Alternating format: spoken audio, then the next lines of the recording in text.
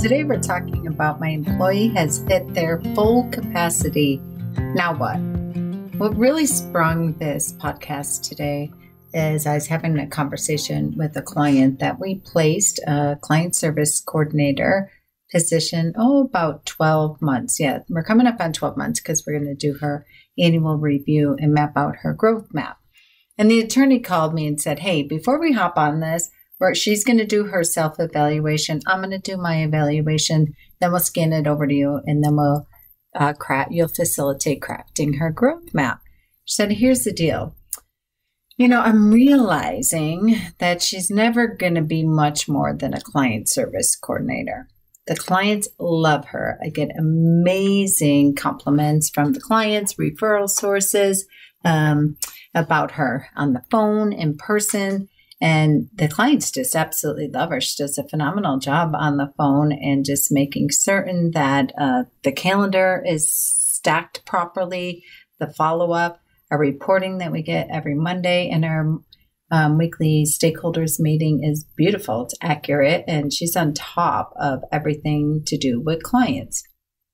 However, I don't think she's going to be much more than that. And I said, okay, well, say more about that. Tell me why you believe that. And the attorney proceeds to tell me how she has her drafting deeds, um, sending out legal letters, um, printing and assembling trusts, that she has her doing some probate, um, doing asset tables and getting um, a lot of the asset alignment completed. And that's where it's like timeout so she's so phenomenal at client services that you decided to turn her into a legal secretary or a legal assistant, law clerk, whatever terminology resonates with you, and she's not able to keep up. She's not able. I said, so what tells you that she's never going to be able to be more than that? She's like, well, I noticed that she's making mistakes. And that's where I said, you got to stop and time out right now because of course, she's going to be making mistakes. The average phone call coming in from an intake process is 19 minutes with processing and setting up the files and making certain that all the information and the data and the fields are accurate in your CRM. That year, it's about 21 minutes per call. So, in essence, your client service coordinator is your sales force. If they don't do a great job, your job's irrelevant as the attorney because you have nobody to meet with in the conference room. You have nobody on your calendar if they're doing a crap ass job of treating clients and servicing clients and communicating safety and compassion and empathy and all that and getting them to take the next right move. So often, attorneys will have team members that are doing a great job that they're like, oh, let me just give them this. Let me just give them this. Let me just give them this especially because their paralegal quit. Which, mind you, their paralegal quit because they're also doing billing. They were also, when I really started dissecting that and having to uh, replace for the client service coordinator or for the paralegal, I'm like, you have a paralegal where they could do billable hour work with um, certain matters where are not flat fee, and you have them doing bookkeeping and billing which you can outsource that for 20 bucks an hour. That just really does not make it great business sense. So, so often when you see your team members, especially in the receptionist slash client services position, so often people will just say, well, they're never going to be much more than that. And I really want to push back and invite you all to re look at that because they're phenomenal with the client and I don't know, you're paying them 40, 45,000, even 50,000. Hell, I don't care if it's a $100,000 that you're paying a client service coordinator. And all they're doing is making clients feel so safe, acknowledged, and heard. They're making sure your calendar is beautifully stocked with a healthy balance between prospective clients and paying clients. They're making certain that your workflow and the life cycle of a file is moving forward and managed beautifully so, in my opinion, that's a hundred thousand dollar job. If they're able to master that, then you can start talking about how about a client connect campaign? How about do, running some reports and doing follow up and nurture campaigns for clients? Then it's really a $200,000 a year job. Like this mindset around that our, my employee has hit their ceiling or I'm seeing that they're only capable, if they're able to manage the phone, the client experience, the calendar, and your CRM and your file management, I can't tell you how many phone calls we get a day, emails we get a day, texts we get, a carrier pigeon of notices of just furious attorneys and support team alike that why is it so hard for somebody to be able to manage the phone, the client experience, and the calendar? Well, I'll tell you because 30 years ago, that's what I did. And it's no joke trying to manage an attorney's calendar, even when you don't have opposing counsel in court and all the other things, depositions and mediations and what have you, and so many different players and helpers involved in the matter. It is a lot to be able to manage that and to keep up, especially in the personal service industry. And especially when most phone calls, when people call an attorney, it is 100% of the time emotionally charged phone call. Now, I'm not saying that they're upset, but it, it was an emotional experience that drove them to pick up the phone and to contact an attorney as a solutions and issue spotter and being a counselor. So do not negate and do not diminish the value in that position and thinking that they're never going to be much more than that in any position, quite honestly, but by and large in the client services position.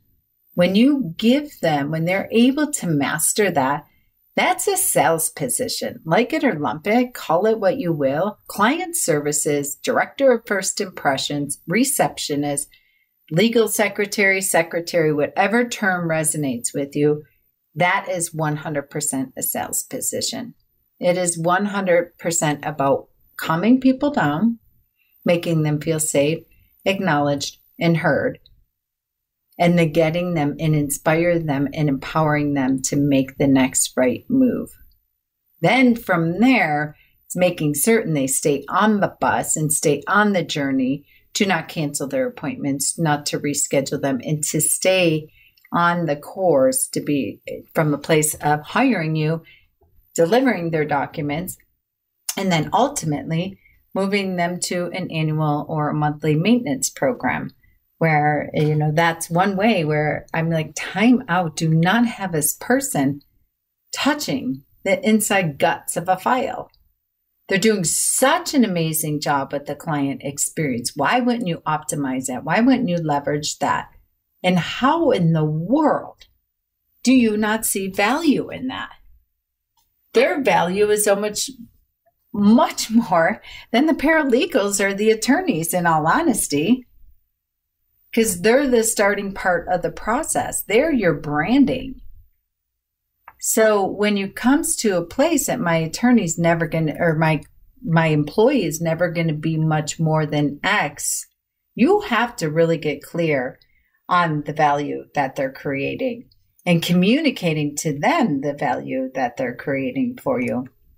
And we hear this often with bookkeepers or paralegals or what have you. We're growing the practice and we want to have, and I can't get my paralegal to do dot, dot, dot. Well, let's really do some silly math here and look at what they are doing for you right now and the value that they are creating. And how about we leave them in their own silo? How about we leave them alone and let them just multiply and leverage what they're already doing instead of dumping more stuff on top of them? I had this call with an attorney today. They're like, well, I'm getting a little nervous. I have this um, independent contract attorney. She's phenomenal. She's good. She's doing a great job. She doesn't really love drafting, not her gig. She does it though. Um, she's fantastic in the client meetings. The clients love her. She is such an eagle eye for reviewing documents, which I hate. And she's doing an extraordinary job with the review meetings. I'm like, okay, well, what's the value if you sit down and have an empowering conversation with her and talk about a team approach in regards to what she likes to do and saying, okay, great. We even did the math. And, and I'm like, all right, she's part time. She only has these days available. She think, has like 16 hours in the middle of moving across country, building a home, has children with the pandemic, uh, you know, school, homeschooling, yada, yada, yada. Like, why don't we get people in their genius zone? Why don't we have them anchoring to their unique ability? Right now, she's drafting trust, can't stand it, but doing it. How about versus you having this underbelly fear that she's going to leave? You actually spearhead it and you really get to the root of it and get her working within her unique ability and letting her do the things that she likes to do. And oh, by the way, she can probably do it in less time than she's doing now. So she can have that work life balance. Otherwise, let's just bury her head in the sand and ignore it. And then she comes in and says she can't handle everything and leave when you already have this inkling that that might be coming and just really anchor into her perceived value. And let's really start stacking the value there. And then speaking into it and getting everybody within their unique ability. So, what if she's never going to be more than a 1099 contract attorney that is taking over reviewing documents, will outsource the drafting? She's also handling all the design meetings for you and we we came up with a real quick system of her doing a Loom debrief, getting it over to client services. Client services gets it to the outsourced drafting. Then she rewatches the video for review, so nothing's missed. We came up with the checklist in regards to the reviews, and then she's handling the signing. And in fact, let's have the outsourced paralegal do a 15 minute pre signing, making certain we have names, birth date, you know, dates of birth, all that down, and then we moved the signing meeting from an hour, sometimes 90 minutes, down to 30. Like, hello. It's, it's, you have to really get clear on what your value is in each employee. Like I said, for me, a killer client service coordinator, i.e., Salesforce, i.e., director of first impression, i.e., an extension of your marketing team and they're doing a bang up job on the client experience, managing the file, the CRM, the reporting, the KPIs, the follow up, that's worth $200,000 a year for me. And so you're all frustrated that she can't handle it. She's never going to be more than that. Where is the value in that? I mean, it just, we got to stop with making things so complex. And when things are very complex, you know, the complexity is an enemy of profitability. The more complex, the more broken, broke you will stay. And the more simple, the more profitable you are. So why not take what's working and leverage it and optimize it versus saying that, oh, this is all this person's going to be versus this is your genius zone.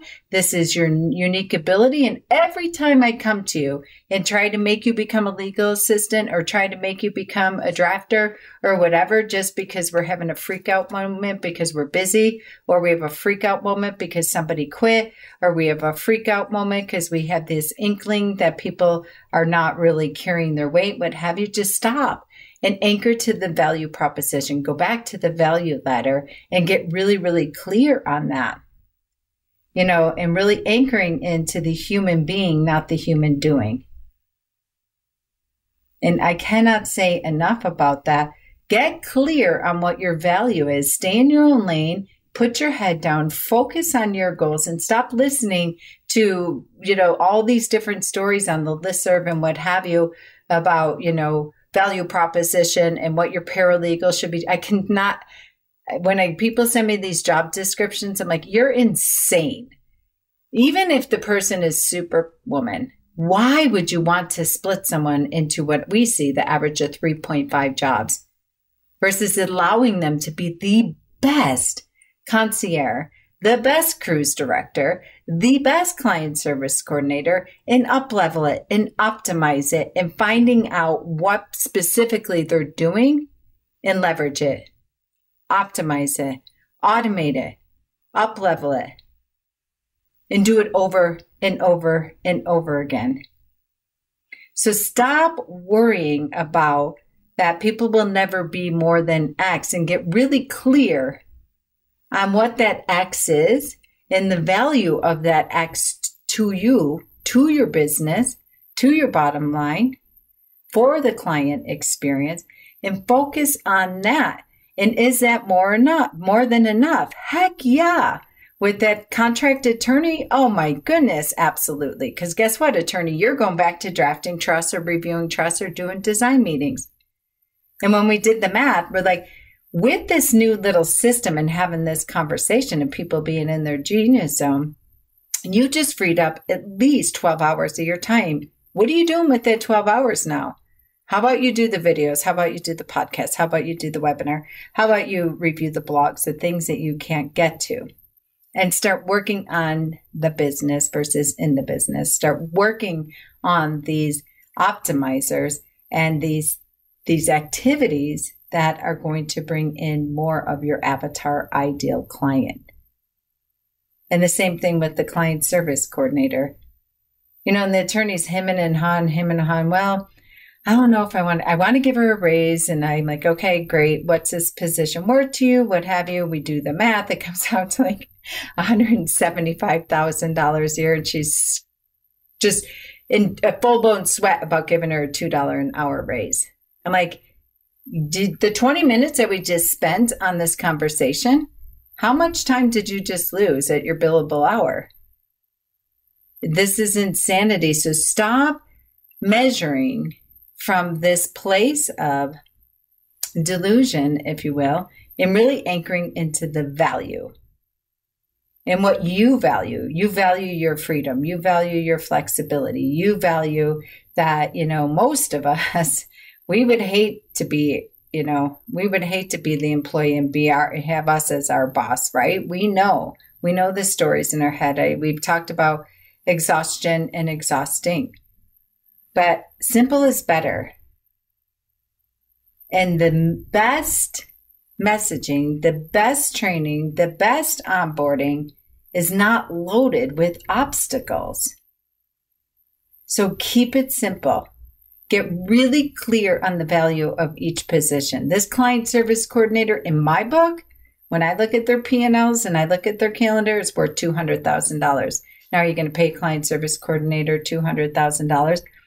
No, but are you going to pay them what they're worth and then have an incentive based compensation at this point when you're realizing that they're not going to be much more than this and figuring out how you can take what they are doing just splendidly and optimizing that and up leveling it? Yeah. And do you want to create an incentive based compensation plan or a bonus structure around it? Hell yes. So let us know if we can help you with figuring out your simple, silly math. And we can help you solve this problem, get really, really, really clear on the value and creating a strengths based business versus this lack of that they're never going to be more than X. I can't get them to do more than X, but let's focus on what they are doing and finding a way to leverage that, optimize it, and keep them protected in their own unique ability, in their own genius zone. Let us know how you make out with this.